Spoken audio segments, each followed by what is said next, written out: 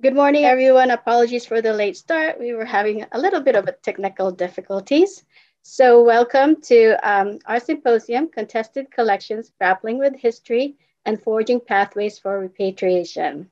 This morning is the second of our four programs, and it's called Entangled Collections, Colonial Histories, and the Ethics of Ownership and Stewardship. My name is Jade Alburo.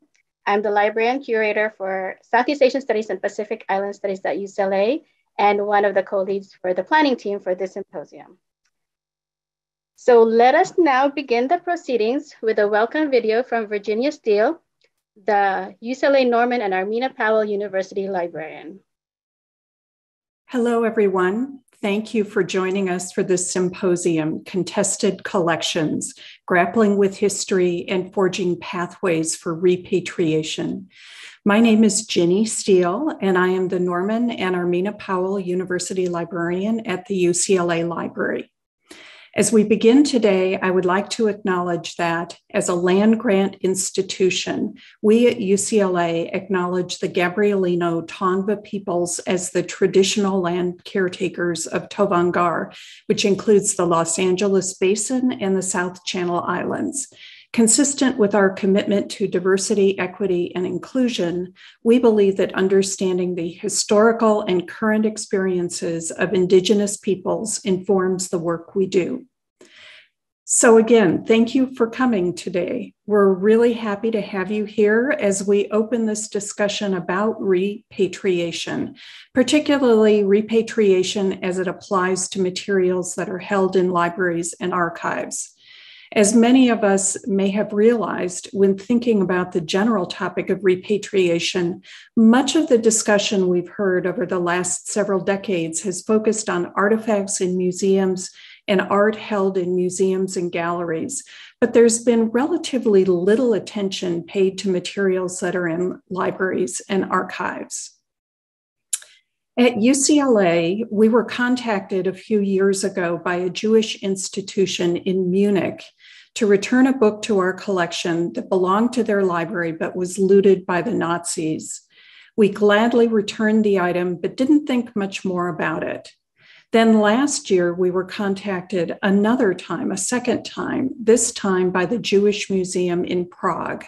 A curator there contacted Diane Mizrahi, our librarian for Jewish and Israel Studies. They had identified three books through Hadi HathiTrust that rightfully belonged to their library. The scanned images in Hadi HathiTrust included their property stamps and accession numbers. When Diane communicated the news to her colleagues in the International and Area Studies Department in the UCLA Library, their outreach team, led by Jade Alburo, felt that it was important not just to share what UCLA is doing in repatriating these books, but to use it as a jumping off point to initiate a broader dialogue about repatriation, why there's a need for it in the first place and why it continues to be a difficult and complicated discussion. This symposium provides a more global context for this conversation by acknowledging the long history of colonialism, war, and even field research that has led to cultural heritage materials being taken from their communities and countries. As libraries, archives and other cultural memory institutions begin to talk about decolonizing their collections, it is crucial to recognize that decolonization is not just about adding underrepresented voices to our collections, but it's also about understanding how materials in our collections came to be there, how they were obtained, whether they were taken from their original owners without their consent, and whether and how they should be returned to the communities and individuals from whom they were taken. In this symposium, you will hear about various issues related to repatriation, including notions of ownership and caretaking. You'll hear examples from museums and libraries because we hope that many institutions will be interested in exploring and implementing reparative practices. You will also hear examples of existing policies and procedures that institutions and government agencies have put in place. And we'll have some ideas for working with the communities that own the materials in the first place. We're very happy to have you with us as we explore this for ourselves and determine what our next steps should be. At the UCLA Library, we are very committed to restitution, and we do expect to do more in the future. We hope you will be too. I'd like to thank everyone at UCLA who's been involved in the planning of this symposium. Jade Alburo and Tula Oram for leading the planning team, as well as members Elena Ising, Dana Lederer, and Yesenia Perez. Additional thanks to Sharon Farb, Shannon Tanhai Ahari, Giselle Rios, Magali Salas, the Library Communications Team, and Library Business Services. And thank you to the UCLA Alan D. Leve Center for Jewish Studies for co sponsoring the symposium. We appreciate all the hard work of all these individuals and the contributions that have been made. And we thank you for bringing us all together. And to our uh, viewers and members of the audience, thank you again for joining us today. I look forward to continued discussion with many of you as we all try to figure out what the best way is to approach the need for us to look at our collections and identify materials that were taken without consent from their owners and return them to the communities and individuals where they belong. Enjoy the symposium. Thank you, Ginny, for that welcome. And now it is my great pleasure to introduce you to our moderator, Dr. Susan Slyomovics. Susan Slyomovics is Distinguished Professor of Anthropology and Near uh, Eastern Languages and Cultures at UCLA. Her latest publication is Race, Trace, and Place, Essays in Honor of Patrick Wolfe, um, of which she's a co-editor. Her research interests, focusing on the Middle East and North Africa, are concerned with reparations, truth commissions, economic anthropology, human rights, visual anthropology, preservation, and heritage. Her current research project is on French colonial statues, monuments, and heritage in Algeria. Everyone, welcome Dr. Slyomovics. Uh, thank you very much, Jade, and thank you for inviting me to be part of this uh, remarkable symposium. It's also my pleasure to introduce our three speakers for this second of four sessions spread across three days, organized by the UCLA Library on the occasion of their restituting Nazi looted books to the Prague Jewish Museum, currently here in the collection. Uh, the symposium Contested Collections has as its second session um, the topic of entangled collections, colonial histories, and the ethics of ownership and stewardship. We're featuring three speakers who provide an overview of the global history of colonialism and its outside, outsized role in the development of cultural heritage collections in Euro American spaces. The examples by the speakers about repatriation to Africa and Southeast Asia, what's in museums in Europe, all open discussions about the ethics of stewardship, varying legal regimes of artifacts as property, the struggle by formerly colonized countries to reclaim their heritage, and what constitutes full restitution. It's a pleasure to introduce our first speaker, Alice Procter, an art historian and writer working on colonial memory in museums. She is the author of the recent publication entitled The Whole Picture The Colonial Story of the Art in Our Museums and Why We Need to Talk About It. She also ran the Uncomfortable Art Tours project from 2017 to 2020.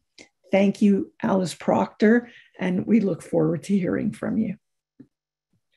Thank you so much. Um, hi, everyone. I'm really thrilled to be here and thank you for having me. I don't actually have any images to share today, mostly because of my own ongoing technical difficulties. Um, but I wanted to talk to you a little bit today about the work that I've been doing for the past few years and the places that I've seen the conversations around memory and restitution and power go in museums. So, for some context, I am settler Australian. I was born on what is Gadigal land in Australia, um, but I live in London at the moment and I'm mostly based in the UK. one of the reasons that my bio is a little bit thin is that I am about to start a PhD project. And so there's not much to say about me at the moment. Um, but for the last three years, I've last five years, I've been working on the Uncomfortable Art Tours. So, my background is in art history and visual and material culture. And I'd been working as an educator with school children and university groups in museums. And I brought the research that I had and the work that I'd been doing around colonial storytelling, memory, narratives around repatriation and restitution, and turned them into tours for adult audiences.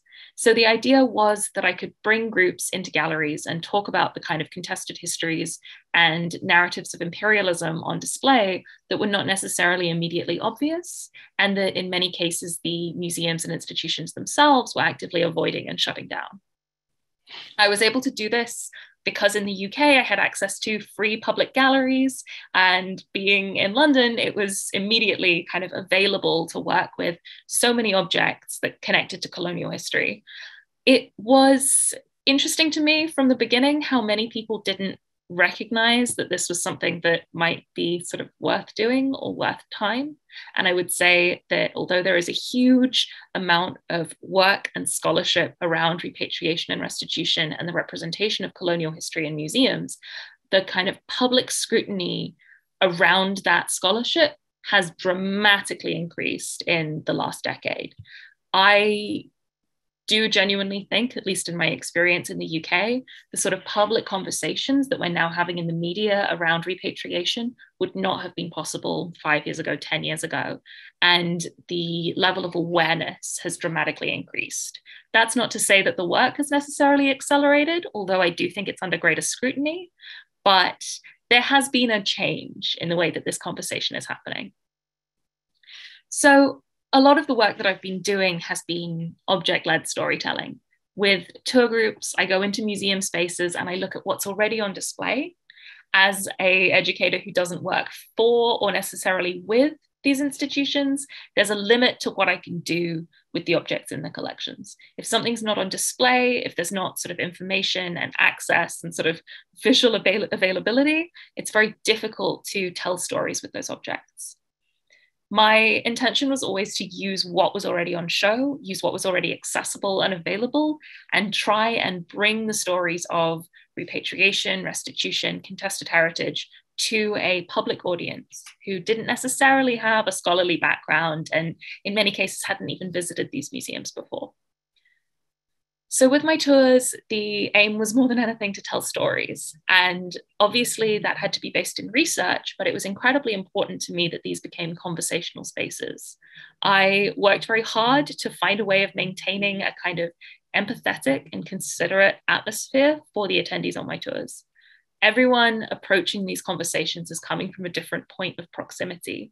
And it very quickly became clear that there were people who had really never thought about their connection to colonial history before, hadn't even occurred to them that they might be living with its consequences. Meanwhile, there were other people who felt it very immediately, felt it in their own families and in their own lifetimes. And so establishing a kind of base level, firstly, of information, but also of emotional uh, literacy for the groups was incredibly important. A lot of the work I've done since then has been with educators. I've focused a lot on the way that we tell stories in museum spaces, specifically in order to try and facilitate a more empathetic conversation. So, for example, I have a no devil's advocate rule on my tours. It's important that we're very conversational and we think about the ways that people engage with this history. But at the same time, if I think you're picking a fight for the sake of it, that will be shut down. Asking questions and engaging sort of open and considerate discussion is very different from the kind of combative language that some people would try and use on tours. And as part of that, it was very important to try and make space for emotional responses. If you are taking a group on a tour of a museum and you don't know the backgrounds of all of those people in your group and you've never met them before, it's not possible to predict what people will have an emotional response to. And I think that many educators and people working in this kind of field might have had the experience of someone in a tour group becoming quite intensely emotional around an object that isn't necessarily the one that you would have predicted. But making it clear that these are narratives that have a very human impact has been an incredibly important process. So, with that said, one of the things that I've been trying to move towards in my work as an educator and as a tour guide is a different way of training staff in galleries. I am able to do what I do because I come in as an outsider. And again, I'm very much working in museums and art galleries in the UK. And I think many of you will have also had this experience. The people doing the front of house roles are overwhelmingly volunteers or docents. They're overwhelmingly underpaid, undertrained, incredibly knowledgeable, incredibly skilled at what they do, but not necessarily the people who receive the most support from the institutions in which they work. There are obviously exceptions to that rule. But overwhelmingly, the front of house staff in museums here in the UK are either paid security guards who don't have a relationship with the collections because they haven't been encouraged to, or they're volunteers. So part of the empathy of the space has to be towards the people on the front line of the institution. But I've also found in the work that I have done in a more collaborative way with museums that often there's a total lack of training in terms of how to handle these very difficult and sensitive conversations when we talk about repatriation and restitution, I think it is incredibly important to have lofty goals. And when we talk about contested heritage, we have to keep the kind of ultimate end goal of repatriation in mind. At the same time, it's really important to recognize that restitution is a process. And along the way, there will be stages of conversation, of discourse, of research. And you have to empower your gallery staff to handle them. So often I've seen the researchers and the curators who are responsible for these projects as completely disconnected from the actual kind of museum front lines. And when you don't have a kind of narrative and conversation moving between those spaces, that information is not making it out to the public.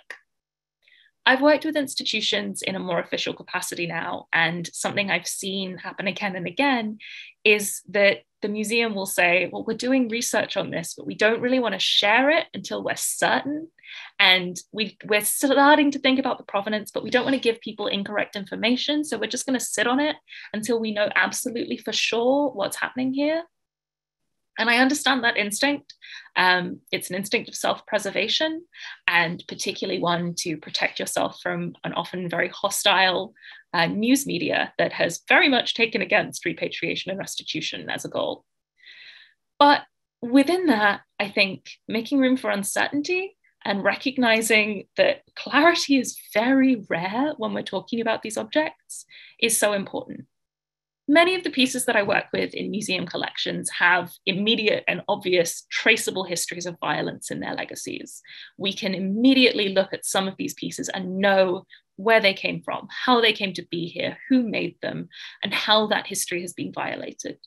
There are other objects where we will never know that.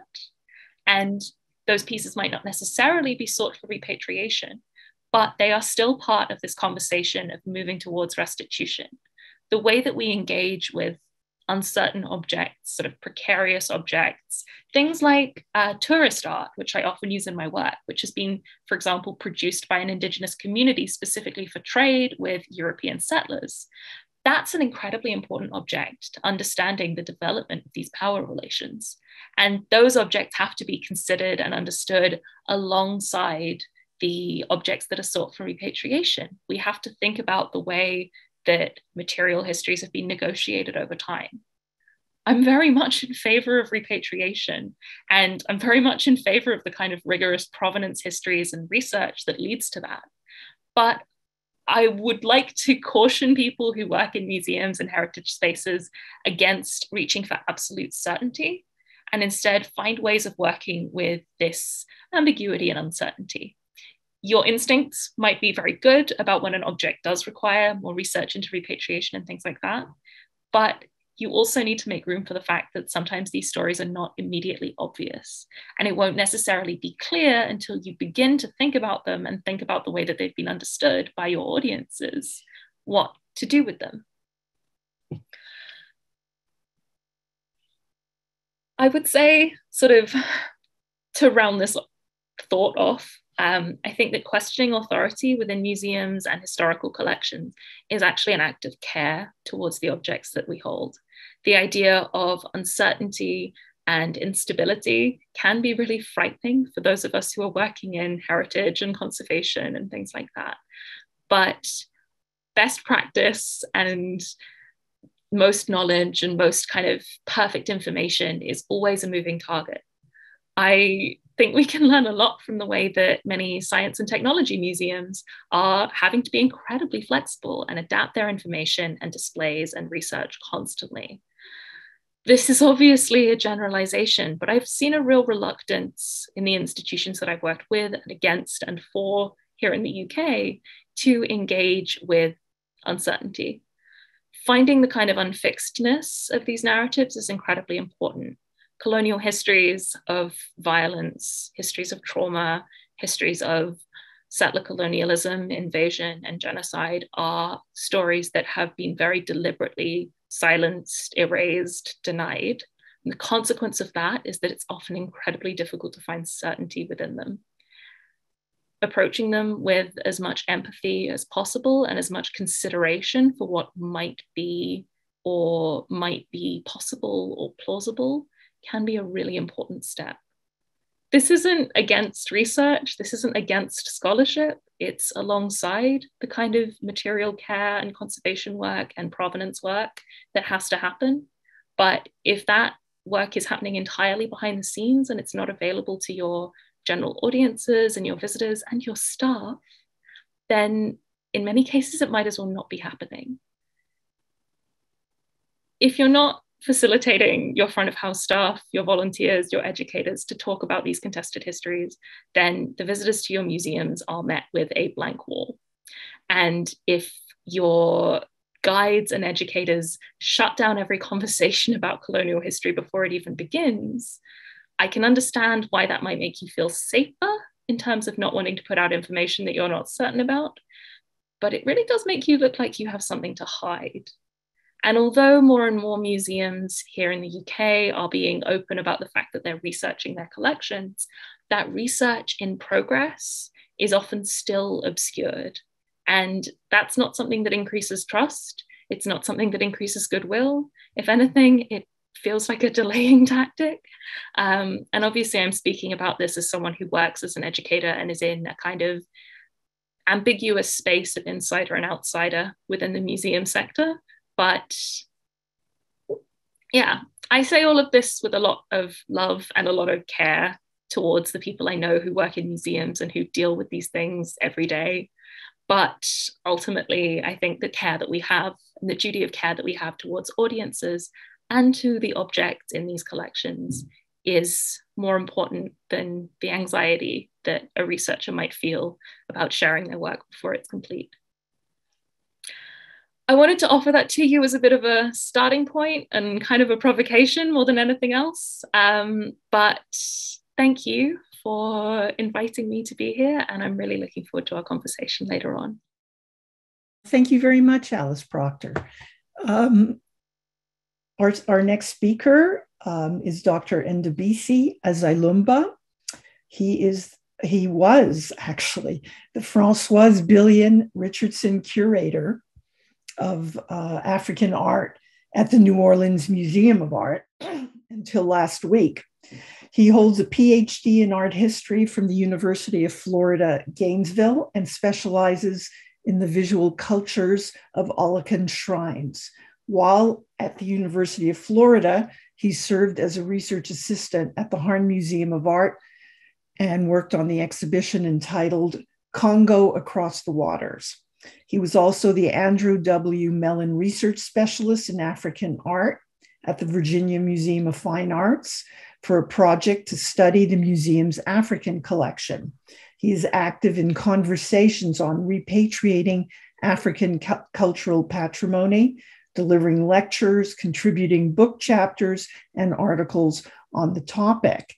Next week, and please accept our congratulations, he returns as the African curator at the Virginia Museum of Fine Arts. Welcome, Dr. Ezeluomba. Thank you very much. Can I start with the next slide, please? I, I always start my presentation putting up the slide. That little gray, gray um, patch and that uh, map is Benin Kingdom. Um, I will not forget to point at the historical incident that resulted to the looting of Benin art in 1897. Um, although, although this, this is not a historical talk, but I think you know putting those little stories um, as part of our conversation will help create a clearer picture about what we are trying to address. Next slide, please.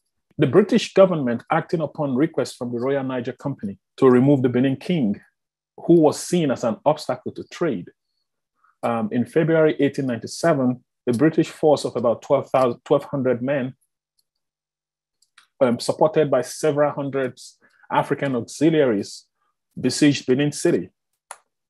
The raid, which, um, which in the literature sometimes is called the British Punitive Expedition, um, was carried out on Benin, and they, they bombarded Benin City for three days um, from the from the seaport of Ughoton. They touched the city and looted 500 years worth of bronze, of bronzes, brass, and ivory sculptures, as you can see from that slides. These were, these were treasures that constituted the royal archives of the Benin Kingdom. The king at the time, of Oba Ovonramwen, um, who ruled between 1888 to 1914, was deposed and sent to die in exile in the, in the southeastern part of Nigeria. Uh, and then the British um, incorporated Benin City into the colonial nation of Nigeria. I'm going to talk a little bit about Benin art. So, starting from this slide, um, during its glorious period um, from the 13th to the 19th century, uh, Benin produced one of the continent's most sophisticated artistic um, legacies. To reflect the splendor of the royal court, the king, or they call them the Obas, commissioned highly skilled artisans to create rare beautiful works of cast brass and carved ivories. Can I see the next slide? This included human and animal forms. There were also relief plaques, elephant tusks, pendants, bracelets, uh, life-size commem commemorative heads, and queen mothers, and ceremonial objects to adorn royal palace uh, and altars. Flip through more of the slides, please, to show you the, the, the range of what Benin, um, yeah, stop at this slide. So, you know, characteristically, um, Benin art was created um, first and foremost, just the king and his elaborate court, because um, the, the king of Benin was looked upon as the representative of, of you know, the spirits on earth. So every um, artwork created using precious materials were reserved for him. It was his own uh, prerogative or, you know, it's his own decision to, you know, share those objects to other highly placed individuals in, in society. And he also can gift them out to people he chooses at various points in time. Benin art was, was a royal art and dedicated to the service of the king and the complex rituals that complement his status in society. Even though the art can be looked as religious art, uh, it was normally royal in its general makeup because the material used for its creation. In the past, brass and ivory were the exclusive reserve of the king. He determined who could have access to this object. Um, and due to these characteristics, it was no wonder that um, my late friend J- uh, Joseph Nevadomsky um, uh, states that the technical virtuosity and the artistic excellence of Benin art astonished, then puzzled the European curators uh, when they first came in contact with them immediately after 1897. And what Joseph was pointing at here was that immediately after the raid of Benin in 1897, a lot of Benin art were, were stolen and taken to England. And from England, it was sold around Europe and eventually came to America. Um, so, so you know, um, you see the network of you know um, of dissemination of this stolen object. It traveled from from from the location where it got to after after the raid, and then it spread up to America. Um, and that brings me to the next slide to repatriate, to return to bring things back. You know, that is where um, I think within this um, slide, I frame my conversation about the three arrows. And the three arrows to me is to repatriate, to restitute, and to reparate. Um, no doubt that the conversation about repatriation of cultural patrimony of Africa rages on. While the extraction and deprivation of cultural heritage and cultural property concerns the generation who participates in plundering, as well as those who must suffer through extraction, it also becomes inscribed throughout the long duration of societies, conditioning the flourishing of certain societies while simultaneously continuing to weaken others. Re- repatriation efforts are commendable and important activities which are, which are carried out for the continuous reminder of indigenous people's artifacts in someone um, else's possession. It helps to cast light on the history and cultural relevance of these objects. By engaging with such debates, the essence of its importance will unfold, and we can begin to implement concrete action towards the repatriation of the cultural patrimony of Africa, especially those looted from Benin Kingdom, which is the, which is the focus of my talk this morning. Um, my idea about repatriation have, have actually um, engineered a lot of um, reactions. Sometimes people uh, confuse my perspective to mean that I am caving in um, about not wanting the objects to go back. But I started my idea of repatriation with sense to, to, to, you know, to take on the conversation even much more meticulously and sensibly. I use those two words because uh, conversation, uh, repatriation conversation is not happening only since um, the, the fall of the, the, the, the winter of 2017 when uh, Emmanuel Macron made a declaration at a university on, at Ouagadougou um, repatriation conversation has, has actually started uh, in mid 20th century. And every effort at African repatriation has actually, just like um, uh, Alice, Alice was talking about now, has actually kind of withered away because of um, uh, the way it has been handled. But I think um, in, in 2017, when Emmanuel Macron made a declaration, um, the, the, start, this, the status of the individual making the declaration actually created the oomph that the conversation needed to move forward. And, and having moved, you know, moved forward, and he, he actually matched his word with action by um, commissioning two scholars, one uh, Bénédicte Savoy and um, Felwine Sarr. So commissioning them to actually um, um, you know, workout modalities for, you know, repatriation to work. So, so, so, you know, um, my advocation of, of repatriation with sense um, latches on on this idea of the renewed um, uh, interest on repatriation conversation, and then declare that first and foremost, objects need to be returned. But you now ask me, do we really have to do physical return sometimes?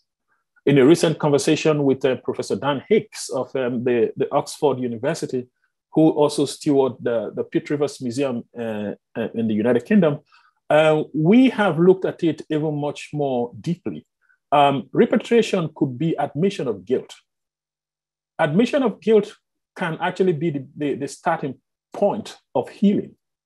And then my, my avocation of repatriation with sense comes with a whole new package of, you know, um, um, relationship building. Um, if if if your ancestors stole my stuff and then um, we have now come to this point where we are rational enough to speak about it. If if if i get the admission from you and then we can then form a, a new network of relationship to like you know work with this material. Because first and foremost the work of art was created for mankind's enjoyment. And then angrily or you know irrationally taking it away and bringing it back and keeping it back may not solve the larger problem or, or, you know may not be helpful in you know in the long run if we are going to enjoy this object. So my my advocacy for repatriate to sense um, has advocated for what i have termed um, human infrastructure development.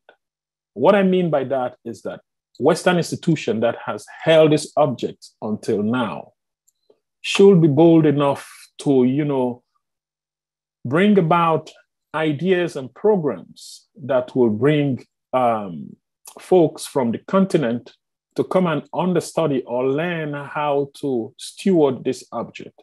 Because museum in the first place are western invention. Not that africans don't have a museum ideology. But just that for them to have variety to help modify their museum ideology the human infrastructural development becomes very important. I always use a story to you know buttress this point. When i started out field research um, at the beginning in, in 2005 and 6 I, I had returned to Benin City to do some fieldwork research, and I went into um, into the National Museum that was located at the heart of the city. I have been there for two days trying to find archival material to work with. I couldn't find, and as I was about leaving the second day, um, I was approached by a janitor on my way out, he, ha- he obviously saw that I have been there for two days and I was very angry. I couldn't find nothing. And he stopped me and said, Hey, do you want um, an old map of Benin Kingdom? My face lit up. I was so excited. I wanted to see that map because how could I have been here for two days? I couldn't find nothing. And I said, Yes, let's go back and you go show me. And he said, Mm-mm-mm. We're not going back. I have them at home. I can bring them tomorrow if you are going to come out here and pay for them. This is one of the people who are supposed to be museum workers, who are supposed to educate people about what happened to the museum. I take that as a case in point. That guy probably never got the right training and did not understand the importance of these cultural materials that is kept um, under his care. So if we invest in human infrastructural development, coupled with, the, with, with this big news, uh, this big story in the news about a new museum that is being conceived for Benin City, I believe that it will actually end uh, in a win-win type situation whereby uh, museums in America, I'm, I'm not going to refer to my colleagues in Europe, uh, will be um, active participant in the development of you know museum activities in the continent by creating shows that potentially could show in the continent and also exchange ideas with this um, other institution if we can if we can hack in onto that idea and create those those network of relationships i strongly feel that most of our clamor for repatriation will be abated because a lot will be gained from both sides. Thank you. Thank you very much, Dr. Ezeluomba. Um, our next speaker is Panggah Ardiyansyah. He is a PhD candidate in the history of art and archaeology at SOAS University of London. He focuses on the afterlives and knowledge production of Hindu Buddhist materials in Indonesia, which then brought him to colonial collecting practices and object restitution, as well as the historiography of modern Indonesia. He recently co edited book entitled Returning Southeast Asia's Past Objects, Museums, and Restitutions. And he also has published blog posts, one of them, Object Repatriation and Knowledge Co production for India's cultural artifacts. His uh, presentation is recorded because he's conducting field research with possible connectivity problems.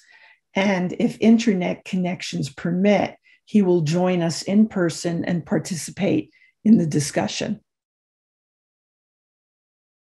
Hello, everyone. Uh, my name is Panggah, and in these presentations, I will be talking about Yogyakarta manuscripts from Indonesia and their entangled stewardships.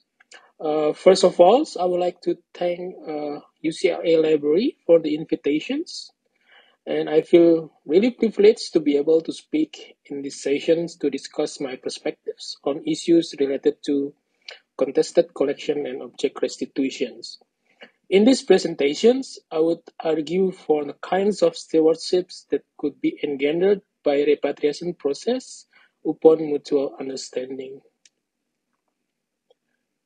So uh, for our discussions, uh, the story originates in the island of Java at the Palace of Yogyakarta, as you can see from the slide, which is in the central part of the Java island.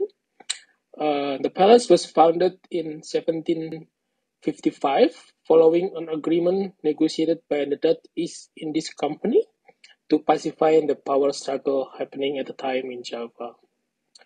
In this historical context, um, the manuscript production for palaces in Java, particularly in the central part of Java, was important part of was important part of court traditions in legitimizing the current rulers, both by providing royal genealogies with supposed supreme mythical power and by projecting the rulers as custodians of culture. Due to the climate condition, however, uh, manuscripts at the time were preserved through copying and rewriting. And this uh, would be uh, confused with the literary value of the manuscript as well, because some stories are claimed to happen several decades before. And it is also not uncommon to have new manuscripts copies composed from different texts tied together into a new historical narrative. So in the early uh, 19th century, the island of Java was a colony under the Dutch authority. However, due to the Napoleonic War, the Dutch was annexed and absorbed under the rule of French Empire in 1810.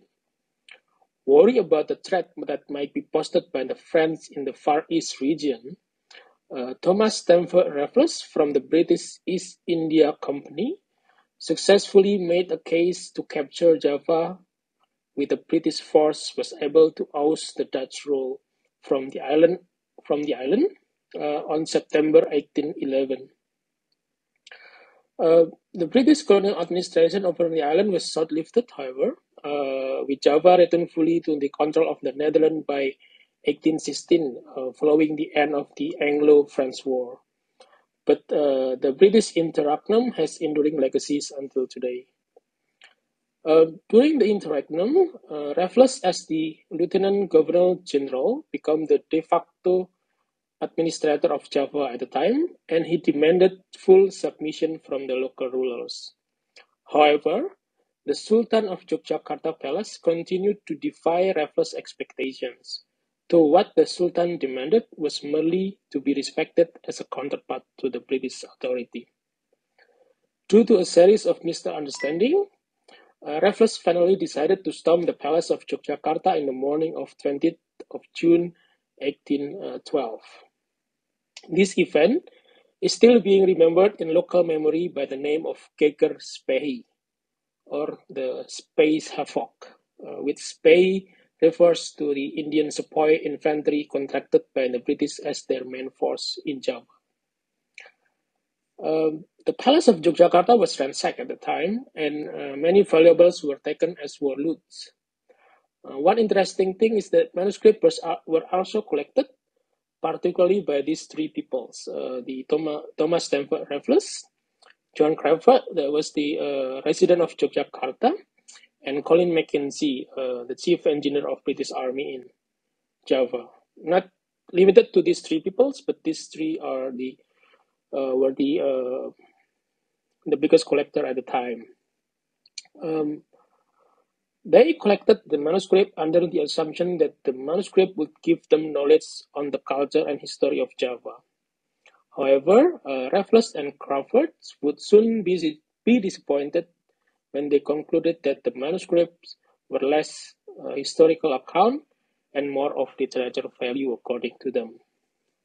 Until today, we have not known how many manuscripts were taken at the time, and probably some less beautiful and presumed to be less important manuscript might be sold after the ransacking as well to the local people outside the palace. Uh, however, 75 manuscripts were identified in the British Library, particularly during the production of a catalogue from the Indonesian manuscript in Great Britain. Uh, following the visit of the Palace of Yogyakarta in 2017, uh, the manuscripts were finally digitized through the funding from uh, Mr. S.P. Lohia, whose foundation concerned with rare manuscripts. By 2019, uh, the digital copies for all the manuscripts in the British Library are already made freely and fully accessible in the British Library website. This is the important part of the uh, afterlife of the uh, manuscript from Yogyakarta. That currently some of the most beautiful manuscripts are being displayed in the permanent gallery in the British Library uh, called the Treasure of the British Library Exhibitions. And it's also worth reading uh, the caption aloud to, for us to couch the what is uh, happening at this uh, exhibition as well. Um, so the caption reads, the British Library holds a rich collection of Javanese manuscripts. This includes work on history, ethics, Islamic practice and law, and a literature primarily written in verse, as well as archival documents and letters. Manuscripts are written on European paper or dluwang, a uh, Javanese paper made from beaten tree bark. Some books are beautifully illuminated in colors and gold, and illustrated with figures influenced by the angular shape of wayang kulit puppets from the Shadow Theater, the pinnacle of Javanese art forms.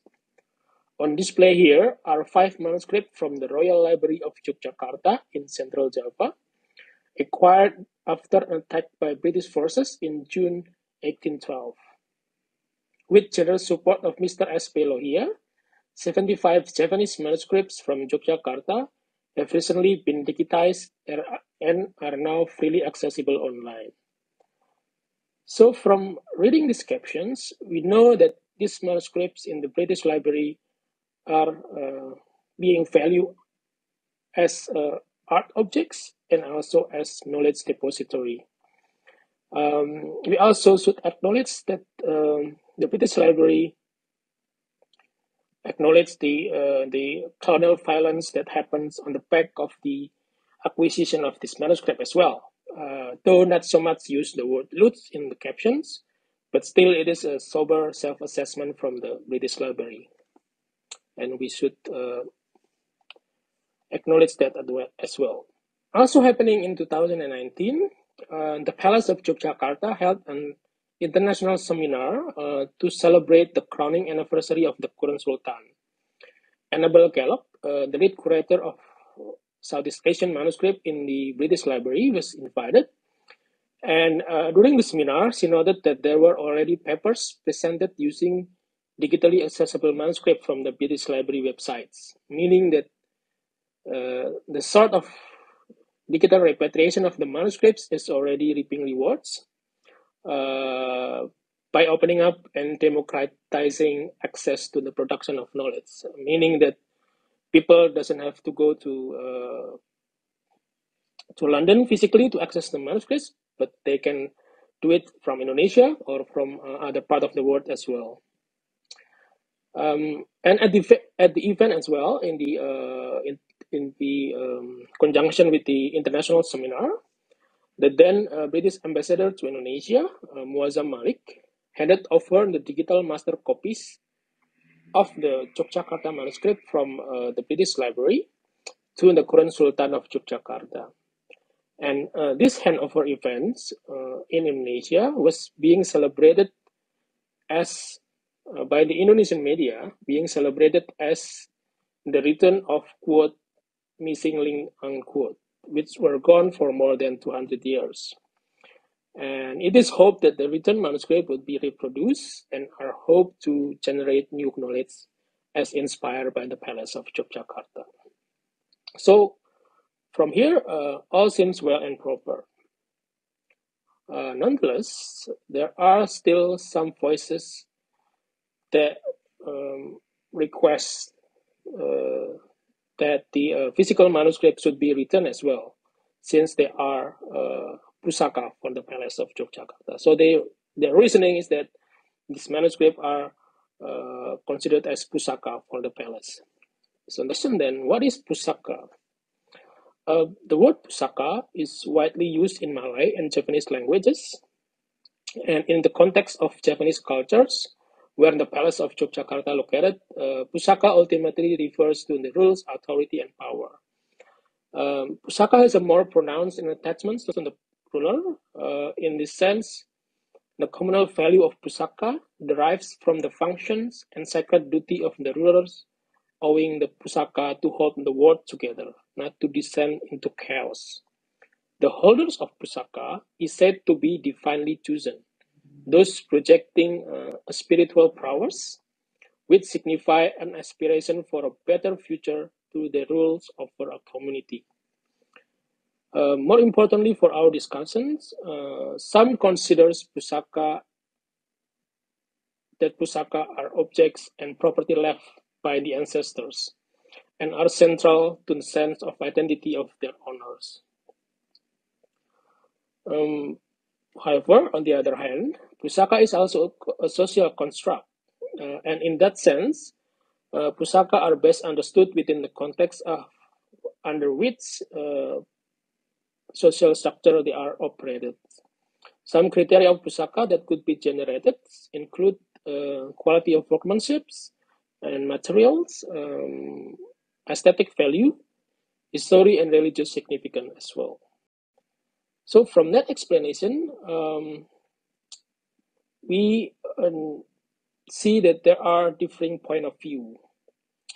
Uh, as shown in the treasure of the British Library exhibitions, the, Jogja manus- the Yogyakarta manuscripts are being viewed by the British Library as both artistic object and knowledge container, which in turn could be couched through digital modes without any different than physical reading or physical ownerships. On the other hand, uh, these same manuscripts uh, at the same time are still considered as the pusaka of the Palace of Yogyakarta which ultimately places their uh, significance in differing values. As pusaka, the contact with the physical manuscript is more is more or at least as important as the content itself. In terms of national and communal identity, physical ownership of pusaka becomes paramount, since closer in closer physical engagements could stimulate a closer connection to the collective memory as well. So understanding that differing point of view, what should we do to move uh, the discussion forwards? So as I have discussed in previous slides, I hope that I have shown that there are differing regime of values embedded into the same objects by differing communities, which should encourage us to be open and understanding to other kind of valuation to an object.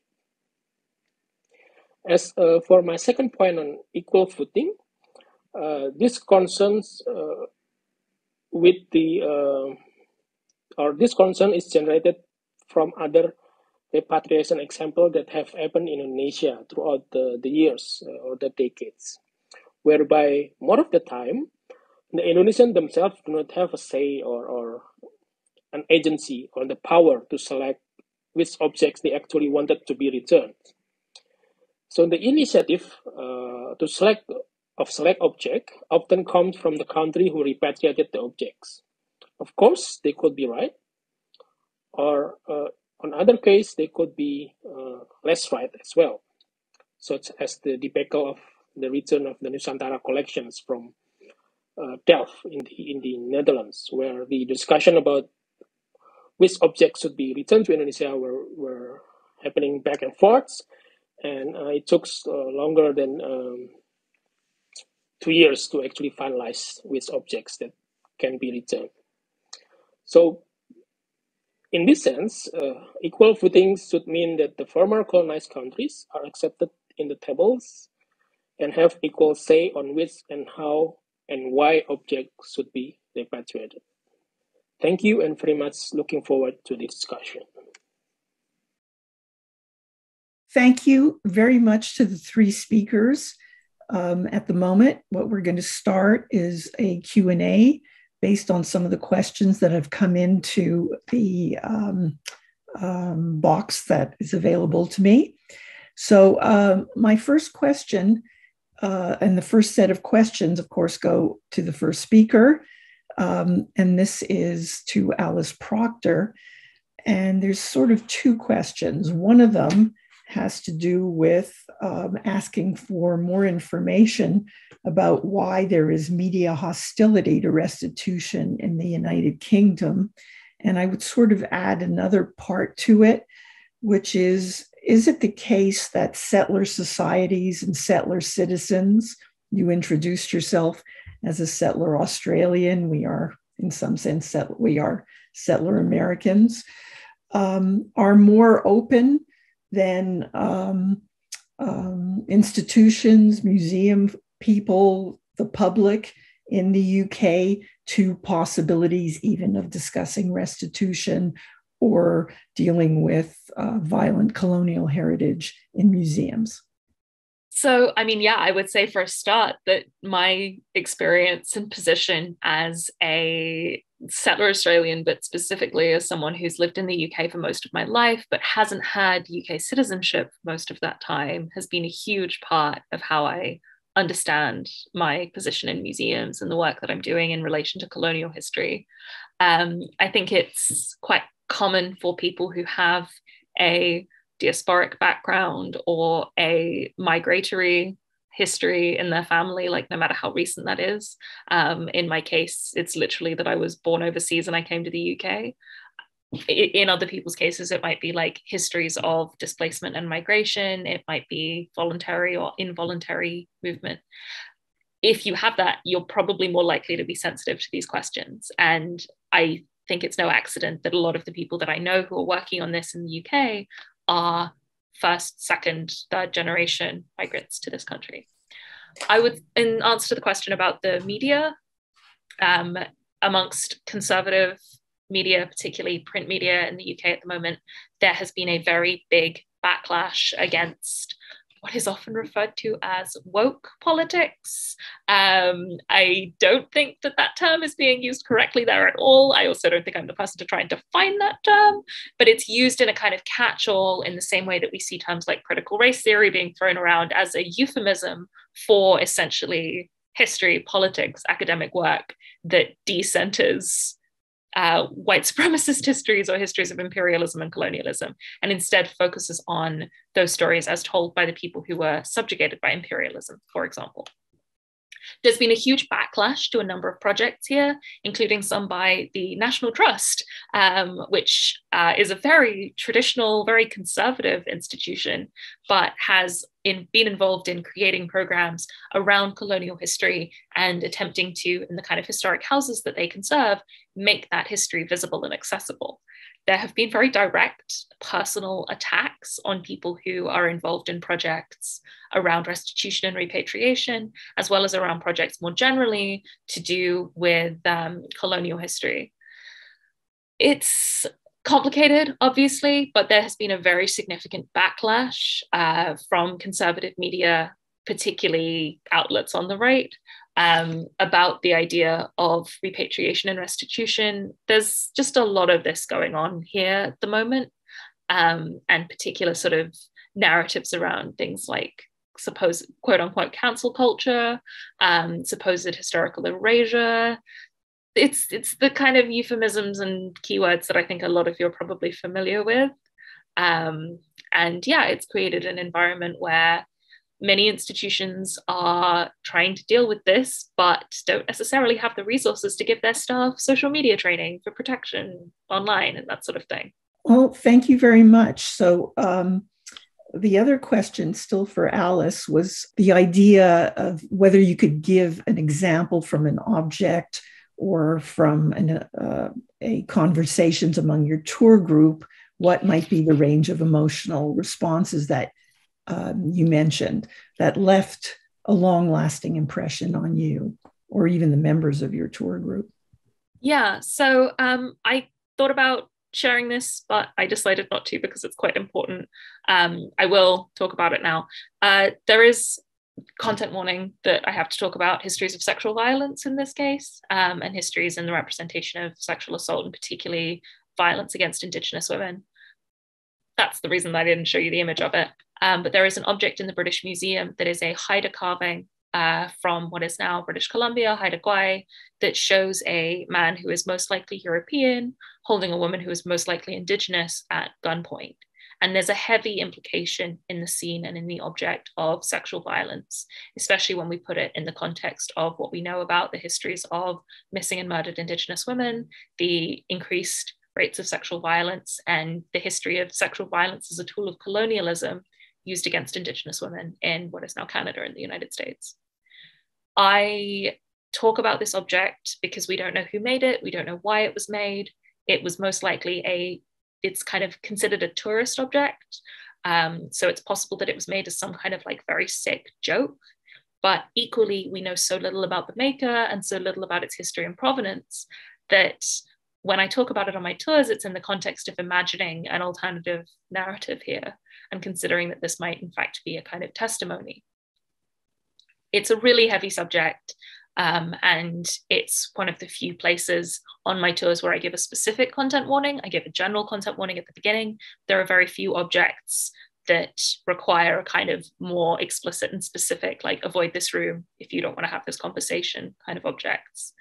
And it is difficult to talk about. It's um, towards the end of my British Museum tour, and I find it very like heavy. Um, and audience members have told me about personal resonances that they've had with that object. And I use it and I work with it because I think it's an important story to tell, but it is not an easy story to tell. Um, and the difficulty of that is something that I have to be conscious of. I have to be conscious of it for the people in my group. I have to be aware of the other people in the gallery who might overhear us. Um, but it's one of the spaces where I try and create as much empathy as possible and as much consideration as possible, partially through the use of content warnings, but also uh, by trying to kind of hold and care for the audiences in my tours. I hope that answers your question. Um, it's a very specific and very tricky case study, but that is the kind of most obvious and most extreme example of some of the work that I'm trying to do. Oh, thank you very much. So there's several questions on digitization, which I'll sort of try and put together, and they would be both for uh, um, our uh, other two speakers on Benin and uh, Jogjakarta, and it has to do with uh, the the shared uh, fact that you were both talking about uh, artwork that comes out of royal courts, that comes out of uh, palaces, and was spoliated, looted as a result of punitive expeditions. So, um, both of you kind of laid out an interesting typology of what might be needed for restitution. And it's also a hierarchy and a series of steps. So, there is new relational networks that allow for dialogue, educational exchanges. There's an admission of guilt is another one. Uh, there's the physical return versus the offer of uh, digital sharing. So you've both come down differently on all these four steps. So I was wondering if both of you could each address that. What are the problems of, of each of them, especially digital sharing? And why would it be rejected or accepted? So, um, Dr. Ezeluomba first. I think I've, I've actually um, um, had that that you know idea some time ago about digital sharing.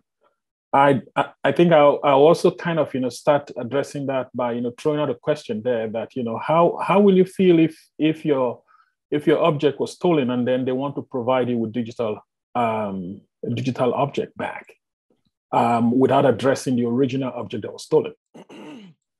that that to me, at, at you know, at the first instance, is like a slap in the face, and and I think uh, my my my colleague um, Dan Hicks um, at Oxford will will actually look at that the same way.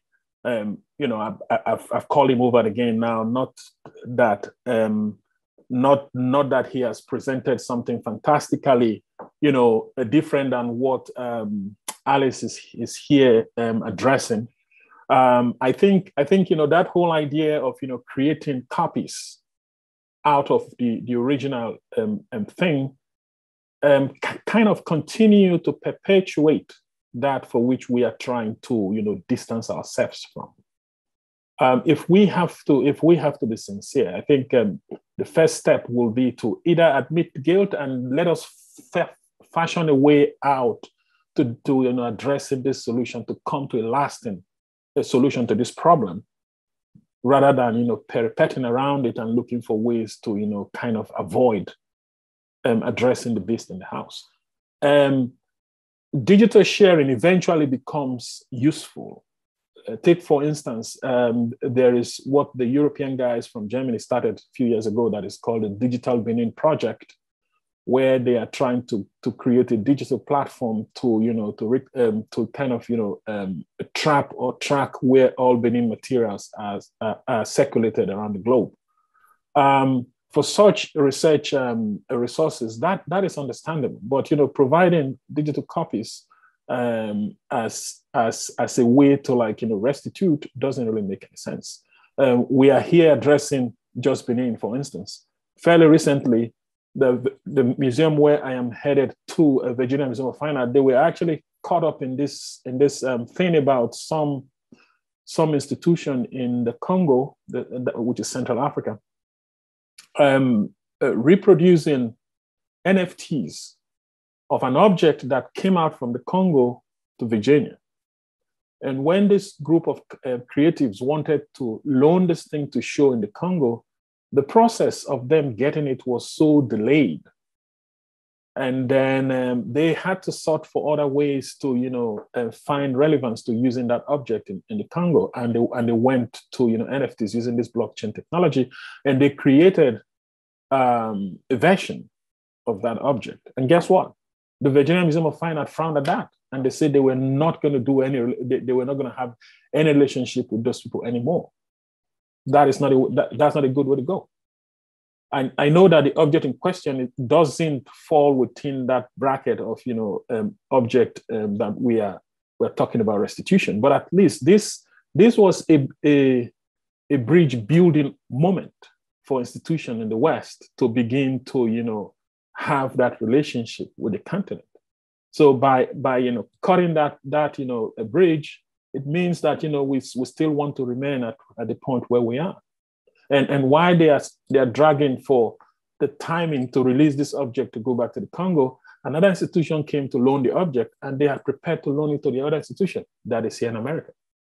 So just to follow up with the French model of giving back the 26, approximately 26 Benin bronzes with no apology, no acknowledgement of their role in various punitive expeditions. Um, in fact, maintaining that they had preserved Benin culture in their museum. Is that acceptable too? That is not acceptable. It, um, I, I think I, I, was I was on a Voice of America program um, in late November. Uh, that was in late November, uh, where where you know the same question were you know brought, and um, I think there are two Benins here. The the country uh, Republic of Benin that you just spoke about used to be Dahomey. Um, it's different from the Benin Kingdom that I speak about, that is a, a state within the Nigerian nation. So returning 26 objects to Republic of Benin, which was a French colony, I, I saw a lot of um, uh, you know a lot of fanfare um, dance and you know all this elaborate um, event that that you know welcome those objects back. I was first, uh, you know, I picked out that first that you know I, I, do not think I there is anything to celebrate because returning it was long overdue. Uh, uh, returning those things and then I kind of become exceptionally happy. It doesn't really make anything. The, the aggregate of what is stored in French institution are enormous. Um, so, so you know, bringing some, that's fine. But but again, if if you go down that lane, I think um, some of what um, Felwine Sarr and um, Bénédicte Savoy were actually advocating, which to some extent, you know, tie into what I was saying, was that you know there should be more than just the return commitment. Uh, in the case of you know of Senegal, the, there is the Museum of Mankind that is there. In case of the Congo, there is a museum that has just been put up there. There is one also in Benin, in the Republic of Benin, where some of these 26 objects will eventually go to. And they, there is a museum that is in the works coming to Benin Kingdom in Nigeria.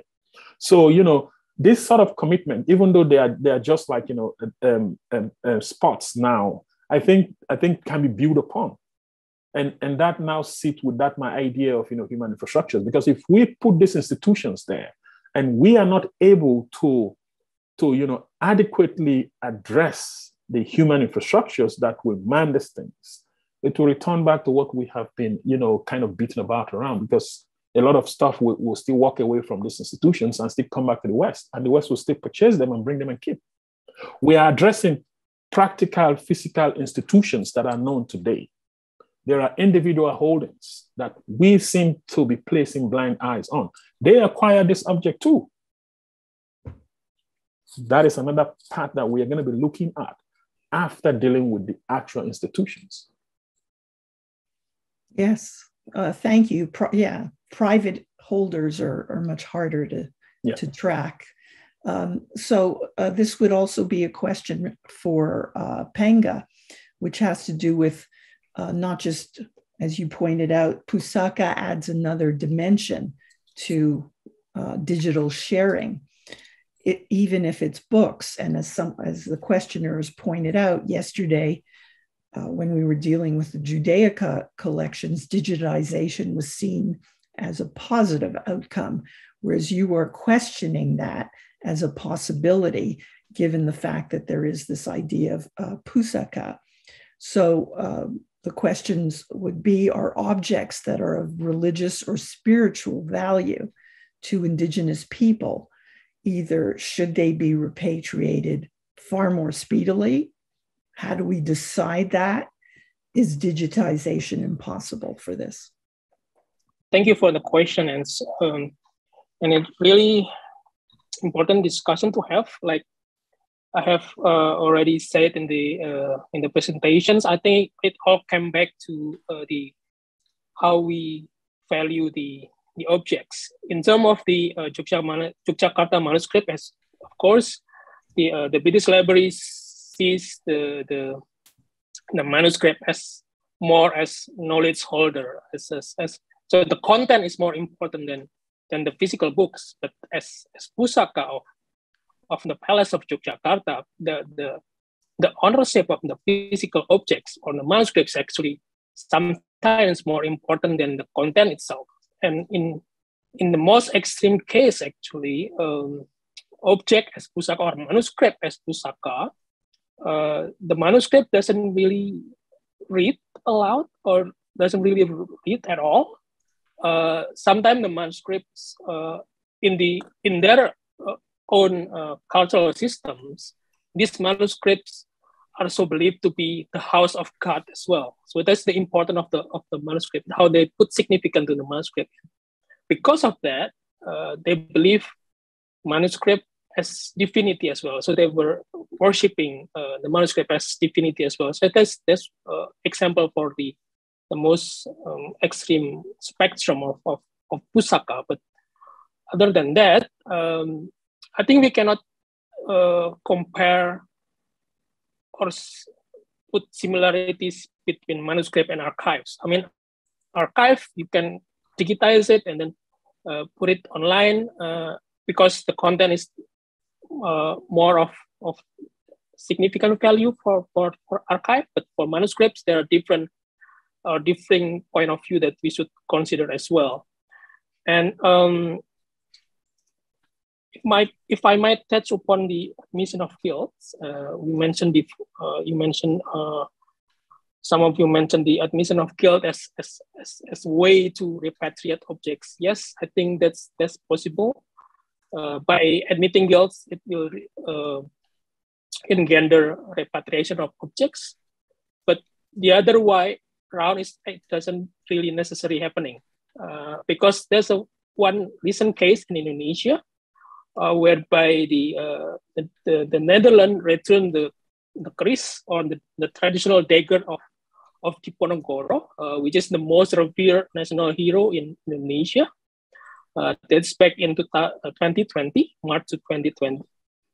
Uh, but and the the the the, the return of the Keris or the dagger actually happened during the visit of the king of the Netherlands to Indonesia, and the the Keris were shown in the in the presidential palace of Indonesia, with both head of states present at the time uh, when the the Keris displayed, but they both don't say anything during that ceremony. The king of the Netherlands doesn't say what happened in the Keris. Uh, the Keris was actually um, uh, taken from uh, Diponegoro during the when Diponegoro was tricked uh, uh, to be captured by the, the, the Dutch army. Uh, he was invited for peace negotiation, but then captured by the Dutch army. Uh, but the king of the Netherlands doesn't say anything about this colonial treasury, this colonial violence on the back of, of the Keris acquisition during the return of the of, of the Keris to Indonesia. So repatriation of object doesn't necessarily engender or generate admission of guilt in, in, in that sense, in, in, in that example. So um, yes, maybe admission of guilt, first admission of guilt can engender repatriation, but there's also other ways to have repatriation of object other than uh, admission of guilt. And uh, as uh, one my last point for this opportunity, probably I would also would like to say some uh, words on emotional responses. Uh, Alice talked about it his uh, her audience, um, and I must say that me myself, as uh, someone coming from the former colonized country, is is also kind of sometimes I feel emotional dealing with this object as well. Uh, because I can see the legacies, the, the long like the long lasting legacies that happens uh, after the colony the colony colonialism ended, but still there is some colonial legacies that still happening. Those subtle, but you can see it uh, happening everywhere in, in in Indonesia as well. And sometimes dealing with this object, dealing with these legacies, uh, bring up emotional responses that really uh, sadden uh, me myself. Uh, so actually my question to Alice is actually whether she ever happened to have audience from from both sides, from from the former colony and former colonized countries, and what kind of interaction that happens. Maybe she could give example on on the interactions. That would be interesting perfect to hear. Yeah, thank you for bringing that up. Um, no, this is something that happens all the time. I have a quite mixed audience um, in terms of the background of people, whether they're sort of from former imperial nations or former colonies, um, people like me who are in a sort of settler liminal space. Um, there's a quite wide range of, of that. And I have seen quite intense emotional responses across all of those groups. There's often a very strong kind of feeling of, of guilt that some people will bring and that is quite interesting um, especially trying to find ways of, of letting people kind of have their feelings without letting white guilt take over the entire conversation is a really important balance to try and maintain. Um, and it's something that is not always easy to do. As part of that as well though there are often people who like find it really difficult to have these conversations. And so there might be like an anger response um, or a feeling of kind of shutting down. It's incredibly common and it's happened several times on my tours where I will have people who um, might be expecting to see objects from their community of origin um, or might not be expecting to see them and then do see them. And that can be a particularly emotional response. Um, one of the kind of common recurring uh, conversations that I've had with people is more along the lines of like, the question of what it means to sort of feel able to have these conversations in a museum space, if that makes sense. Um, and the experience of being able to say, like, you know, we can talk about this as a history of trauma, we can talk about this as a history of violence, and we can see these objects and recognize that and kind of appreciate their beauty and their artistry and also talk about the violence that brought them here and the kind of juxtaposition of those things, of the sort of way that museums celebrate and treasure objects, And the absence of that history of violence is, I think, the space that often provokes the most intense emotional response. I think that kind of chimes with what I think you were saying as well about how, like, it's being aware of the colonial history around these objects that can be quite like intense. Um, but yeah, I've, I've had conversations with people on my tours who've said like firstly that it's emotional to be able to have these conversations in a museum space to feel kind of able to voice these experiences in a museum space. Um, and also the kind of shock surprise emotional response of seeing an object that is personally connected to you. Like it's intense. And so much about the way that museums are set up to function and these kind of as colonial institutions and as institutions of western power and you know cultural uh, authority is designed to repress emotion um, and to emphasize kind of rationality and control and composure. And so finding emotional responses can be firstly kind of difficult because of the structure of the institution but it can also be like you can kind of try and shut it down because you're like oh my god i'm in a museum. I shouldn't be crying for example. And so making space for that and making room for that is yeah something that has happened a lot on my tours. And i think recognizing that these are objects with emotional histories as well as material histories is an incredibly important part of the reparative and restitutive process.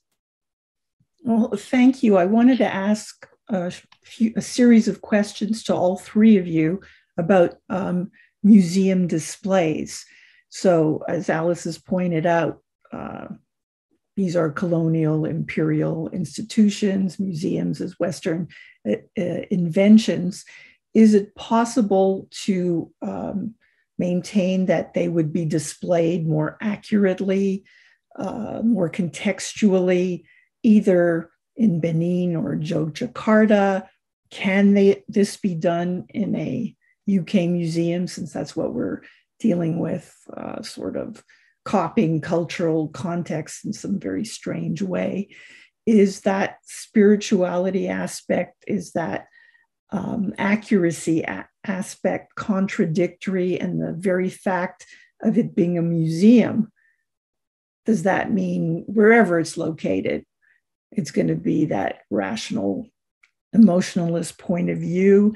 Can you speak aspirationally? Can you dream about what museums can be, whether they're in the UK, Jakarta, or Benin City? So I'll start with Alice.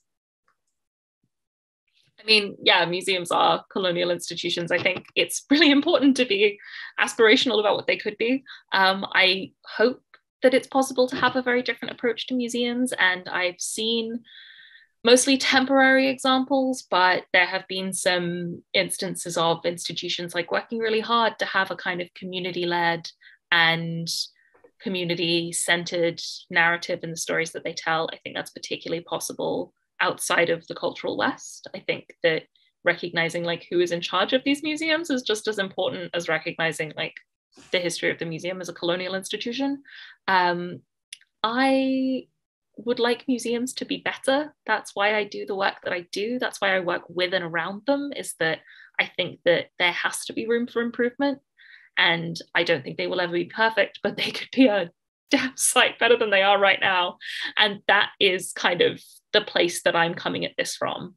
I am hopeful that when we see kind of more widespread and long-term restitution to former colonies and other parts of the world that that will also bring a change in museum practice um, but in the meantime i am focused on museums in the cultural west and all i can do is hope that they keep improving and keep getting better thank you dr Ezeluomba I think from my own perspective, I, you know, be, I, you know, I have always been this dual entity. Um, you know, I am both an insider and, and an outsider. I am an African, first and foremost, and then I represent American institutions. And very early on, when I came into the museum establishment, I have advocated for and remain consistent with the idea of, you know, collaborating with the continent. Why did I say that? A lot of other materials that museums deal with in the West could fall within that category of what they call archaeological materials, meaning that such maybe culture are either in extinction or there is going to be very hard to trace. But Africa provides us with a more different experience. Africa as a continent is a continuum. There are human beings that still live in the continent that are still creating works, creating art. And the cultures that created the art that are stored in Western museums are still in existence. Then what beats my imagination is that I'll, I'll, create this example. In 2007, my very good friend, Barbara Plankensteiner, who was the curator at the museum in Vienna that year, she, she, she exhibited one of the most comprehensive Benin exhibition that has ever held. Uh, and it was, it was staged in Vienna, Austria. And then it traveled to, um, to Museo Quai Branly Jacques Chirac in France and came to the Art Institute in Chicago. And then he went back to Europe the Nigerian, where they, they even borrowed some object from the palace of the Oba of Benin, and they never thought it was necessary to go and, you know, at least find a venue out in Nigeria or any other African country where, where it could be shown. Um, a lot of colleagues wanted to go see the show. They were not able to do that. But that aside, I wonder, you know, we are talking about object, object, we are, we are, we're kind of object focused here. What about the knowledge production that comes out from the object. Uh, a continent that is a living continent, we are producing knowledge behind or, you know, away from the, the, the continent.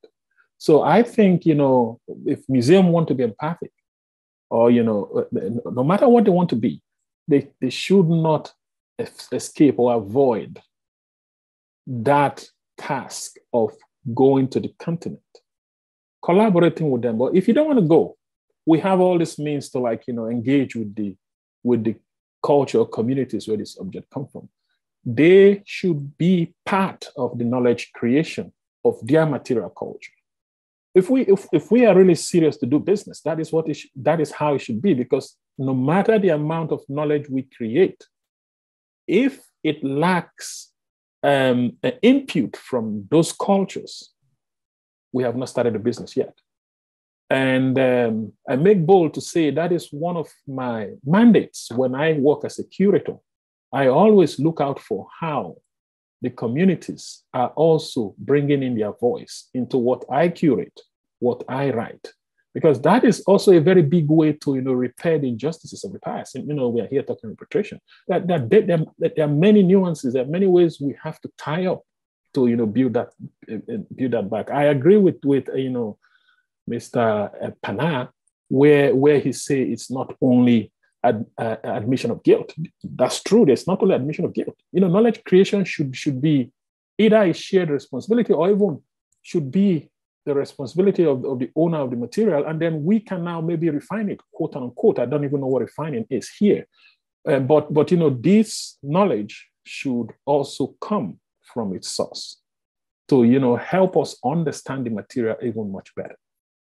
So, you know, it, it could come in the form of, you know, elaborate contextual, uh, con- contextual materials. It could come in a number of ways, you know. Um, I, you, um, the, the exhibition Congo Across the Water that, um, that I participated in in 2013, part of what made me, or, you know, what made me refer to that exhibition over and again was this idea of, you know, incorporating contemporary artistic creativity of Congo to, to show that you know Congo as as a as a, a people and culture did not go into extinction. We show contemporary artists who are t- getting inspiration from um, historic artistic creativity to fashion new ways of, of interpreting this culture and also their, their contemporary realities. So yeah, I, I think you know museums in the West are actually um, been given that opportunity to, to you know, amend that bridge. I'm very happy to announce that you know um, my, myself and uh, um, colleagues in in in in, in American uh, museums with African art collection have actually started a group. We are forming a steering committee whereby we kind of work out modalities about how this collaboration will work in a very ethical way that will benefit both sides because American institution cannot stand by the wayside and watch what is happening in other places. Well, thank you. Um, I would only ask that when you talk about Africa, we don't split it the way the Europeans have, and you include the entire continent, including North Africa, because those splits are European, and it bothers me as someone who works in North Africa. Yeah, I, I things I, are separated I, out. Yeah, I, I definitely don't. I, I will not separate it because Egypt is Africa. It is Africa. Yeah, it is. Thank you. The last word we give to Panggah Ardiyansyah. Please, your turn. Uh, yeah, thank you. Uh, yeah, it's, I think as Alice said, uh, what I've seen in the UK and the, in the museum landscape in the UK, there's definitely a lot that's been going on. Um, if you ever want to visit museum in UK, my advice is don't go to the big museum, but go to the smaller museums. because a lot of happening in the smaller museum. For example, like in Brighton museums, uh, there's a lot of uh, activities going on. Sometimes like uh, the, uh, the, the community-led narrative happenings there. Uh, the, the, the museum invited the, the, for example, for Asian object, object from Asia, from, uh, from Iran or some place else in Asia, they will uh, invite the, the, the descendant from the Iran community, from the Asian community, uh, but then not just not just including the narrative for the collection from the museum itself, but also asking them to to uh, to create new objects as response to that to that collection, which is really interesting thing to me to to, to, see. And then they will display both objects uh, side by side and see that kind of uh, uh, emotional response to the, to the museum collection as well. So a lot of happening in, in the UK, in smaller museum in, in UK. And um, I think I forgot to answer a question about the spiritual object as well, uh, the previous question. Uh, and also related to the to the uh, to the aspirational of, of what can museum uh, do in the futures. Uh, of course, the the uh, the spiritual aspect of objects sometimes are not present in the museum space. Uh, I've seen this a lot in Southeast Asian museum uh, because maybe uh, the, the spiritual aspect is also something that uh, live closer to the, to the to the community and the museum as well. So it's it's it's, it's um it's sometimes that is uh, open to for them to to to actually accept them uh, in more welcome to accept that kind of uh, aspect. But also we need to be very careful with how we should deal with spiritual quote unquote spiritual object as well. Um, so one example is that the, the the object taken from from the Batak people in the Sumatra Island in Indonesia during the uh, uh, 19th century and now in the in the uh, Brussels Museum in Belgium, uh, the, the, contemporary Batak people were asked whether they want the uh, spiritual object that were taken to be returned back to, to, to Sumatra, to Indonesia. And the answer is actually no, they don't want to them return because they believe that the spirit are gone. The spirit from the object are already gone. So for them, it's actually better to have new object created and then put spirit inside this new object rather than having the, the, the, the taken object with them to them. So you need to be really careful with, with this uh, attribution of spiritual object in, in museum space as well. And uh, for my last comment, actually, because you mentioned Yogyakarta and it's also, I think for the uh, widely uh, non, non-Western museum as well, we, we've been talking about decolonizing museum in, in Europe, in Northern America, but also I need to say that we need to decolonize museum in Indonesia as well, in Asia as well, in the former uh, colonized country as well.